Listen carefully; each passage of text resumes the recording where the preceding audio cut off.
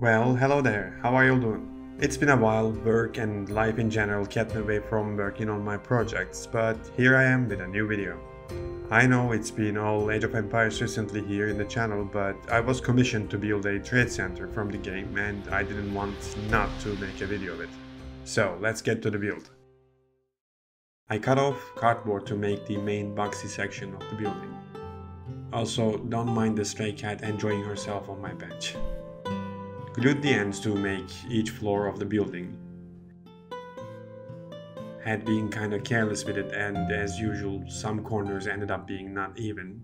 Hope to fix it or rather hide it with other details later on.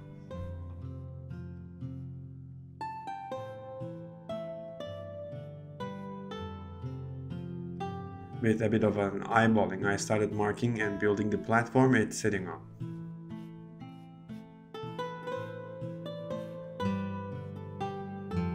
And after that, I started working on the wall-like extensions of the building by the main archy gate. Never built such a thing this way, the curvy one especially was quite fun to make. Once the roof parts of those done, I started on their legs starting with cutting square-shaped cardboard pieces as a platform for the legs to sit on. In the original image, they look like stone pillars. I tackled that with skewers and covered them with baking soda to add stony or cement-like effect. Or I'm hoping for that effect since as of the day I'm recording this video, this is not painted yet. In fact, I'm splitting this video in two just like the last time in order to not keep the channel without an upload anymore. Anyway, I hot glued the pillars as evenly as possible, then glued the cardboard right underneath of each one.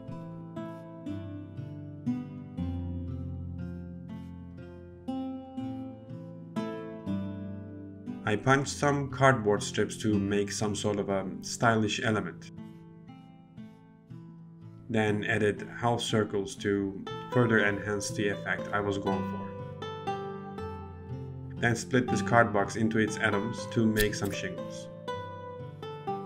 And laid them up one by one, probably the most insane job for me when I'm building such roofs. Yet, I like the final result once they're painted, so I'm not really complaining.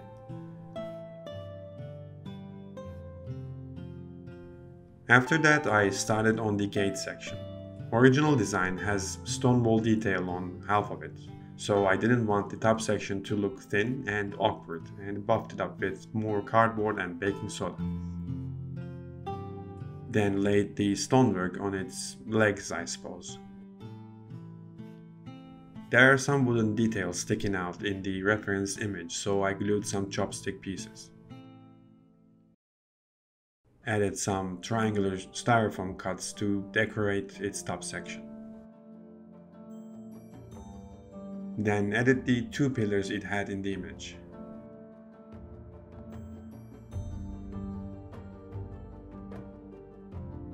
After the gate section I started working on the side extensions of the building. Got more cardboard and glued them together.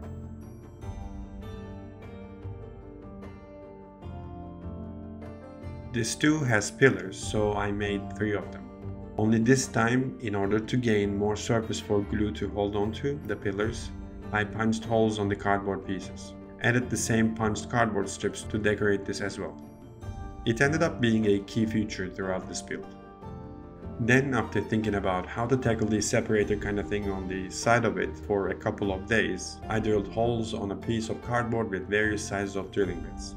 The idea was, if I can't make a mesh-like separator, a mesh would just look too metallic and a cage-like something would end up looking like way too away from the original design. I decided to make it this way. At some point it got way too brittle with all the super glue and baking soda treatment and I had to stop widening the holes and accept it the way it is. After that, I glued various sizes of cardboard cuts to make the rather beveled roof of it. Utilized baking soda and Dremel sanding to achieve this. I feel like I'm solving most issues with baking soda. Sometimes it's a handicap since the pieces treated this way can end up being rather heavier than the platform carrying them. That was exactly the issue with this one. Not that big of a problem, but ends up getting the final result heavier. And considering that I'll ship this to United States, that weight will add up to the shipping cost. Anyway, after that, I added some styrofoam pieces on the edges of the roof. The original has more intricate design, but I took some creative liberty and made it this way. Next I prepared stones from styrofoam and started covering where stone details should be.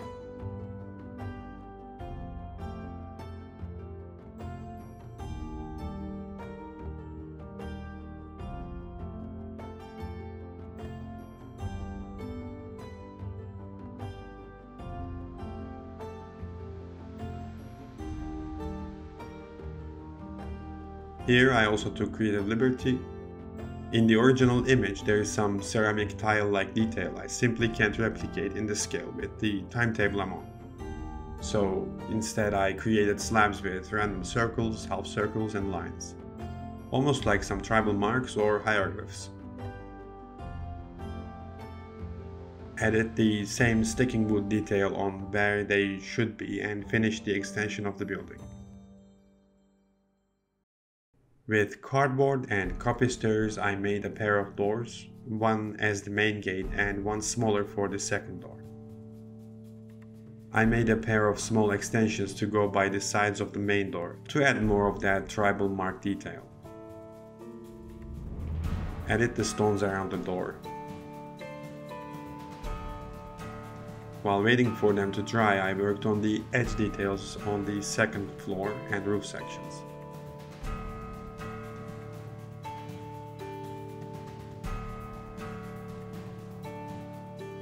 Used foam core to cover up the floor, and then applied more punched cardboard strips. Made a pair of narrower doors opening up to the balconies on each side. Also made some windows. Originally these should have been stained glass. I will try to paint them that way when it's time to paint this. Next I started working on the steps on the side of the building. There is not really anything special in making this, this was the simplest method I could think of making it.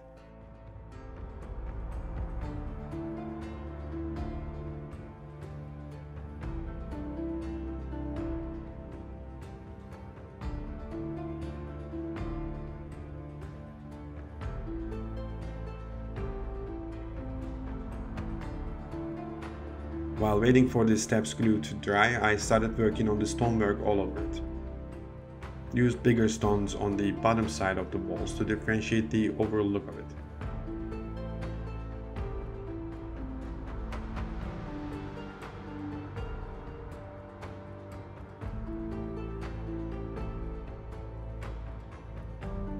Made sure to cover the top parts on the sides of the stairs where I could see the cardboard.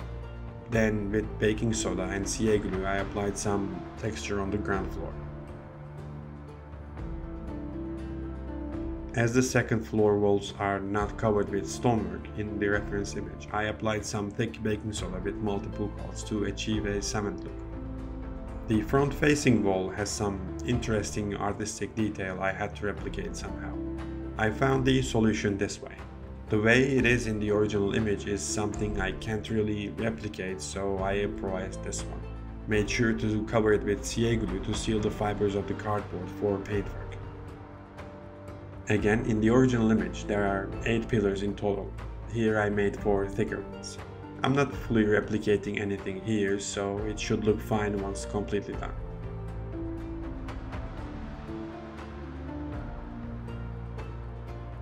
Railing of the stairs were somewhat annoying. I had to drill guiding holes with an unguided angle, but they ended up alright I suppose.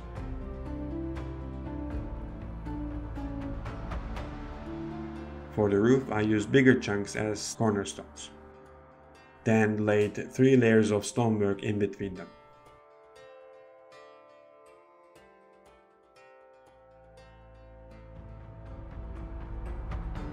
And again decorated the top of the wall with triangular styrofoam cuts to fit the rest of the building. And the same style of decoration to replicate the ceramic tile looking detail on the roof. This piece also has some decorative elements and I sold it with more half-circle cardboard punches. Added the texture the usual way and put it aside to fully dry. Next I cut a roll-on ball into and used the half as the dome of the bell tower after some baking soda modifications. Added the corner details and used a metallic jewelry piece as the decorative piece on top of it. For the bell itself, I cut off a CA glue bottle cap, inserted a skewer in it and glued it right under the dome. Skip the entire rope or chain detail that we can't see in the reference image that logically would be there. Used skewers for this to sit on. Glued some thin cardboard strips to add some detail in between each pole. So, for the dome sitting on the roof of the building, I utilized a circular plastic piece I got out of a spray bottle, covered its top with a cardboard piece, glued a bottle cap for this to sit on, and then turned this into a cookie-like shape. Took 5 or so coats to achieve a rounded result. After a thorough sanding, I got the result I was going for. In order to get the necessary grooves, I spread baking soda in symmetrical lines. Once done, added the jewelry bit on this one as well to complete its assembly. Glued the thing on its base, then glued the entire thing on the roof.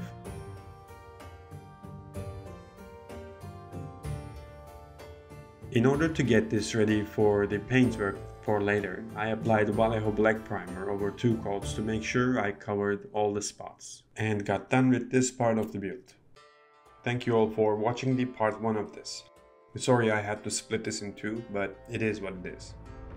Make sure to subscribe if you haven't yet and turn on the notification bell so you won't miss the next part, in which I paint this and turn it into a diorama build. I'll see you soon in the next one, bye bye.